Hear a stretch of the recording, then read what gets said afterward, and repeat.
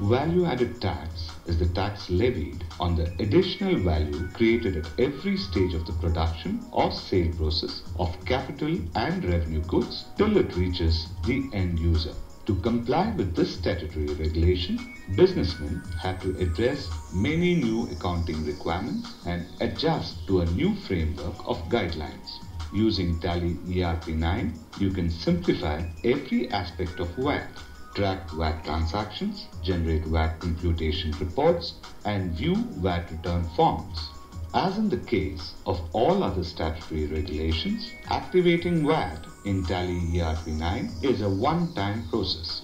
As VAT regulations vary from different states, you select the appropriate Indian state and dealer type, composite or regular for VAT computation. The masters created include different input and output VAT ledgers for different VAT rates which are state specific.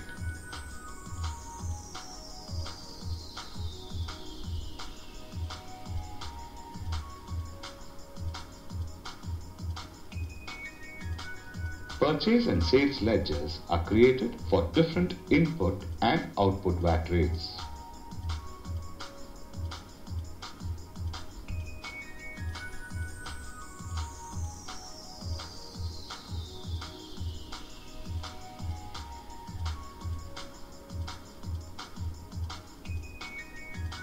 Purchases are recorded using specific rate purchase ledgers and input VAT rates are added to the items being purchased to update the input VAT ledgers.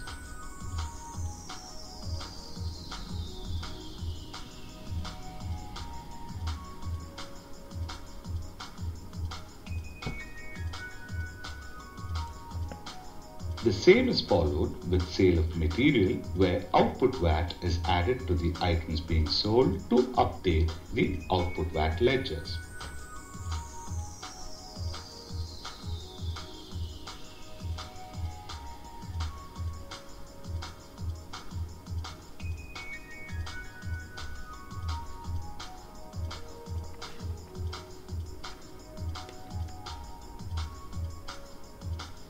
The net payable VAT is calculated as the difference between output VAT and input VAT for any specific period. You can view the VAT computation report for any given period and print it using Tally ERP9. Using VAT class journal, the reversal credit transactions are also handled.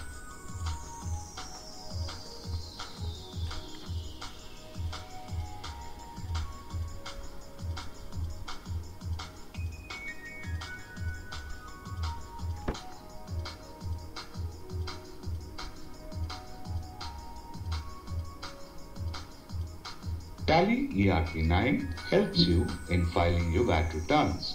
You can display and print the VAT return forms for respective states in the prescribed format.